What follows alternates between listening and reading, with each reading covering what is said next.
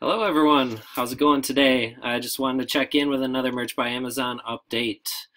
Uh, we're having a good week. Uh, as you can see, we have 39 products sold for the last seven days. Sales have started picking up a little bit again.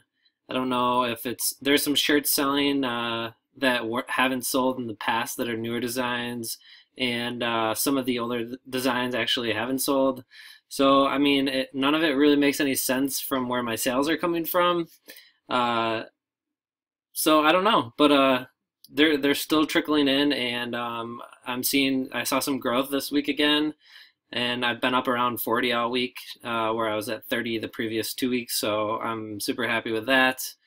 Uh, I've been spending uh, quite a bit on on Pinterest ads, which uh, you'll see in my monthly income report uh, the first of um, June, but still there's there's still a lot of profit left over even though I'm spending a lot um, on ads.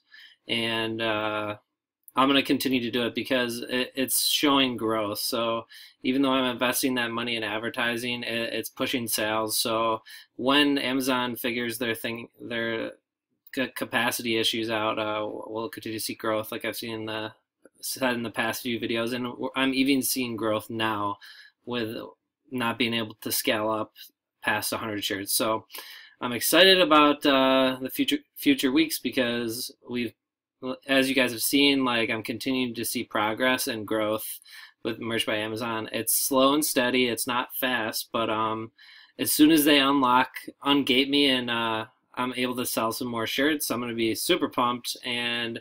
I'm gonna put up, you know, a couple hundred more designs, and then once I'm able to scale up even more, I'm excited to see what kind of results I can get. So, you know, I have my fingers crossed now. Hopefully, Amazon, you know, gets their uh, things, their uh, capacity issues figured out quickly, and um, we get we get to see this uh, possibility for growth uh, soon. But um, yeah, thanks for tuning in, guys, and uh, I'll check back in with you next week. And until then, happy hunting.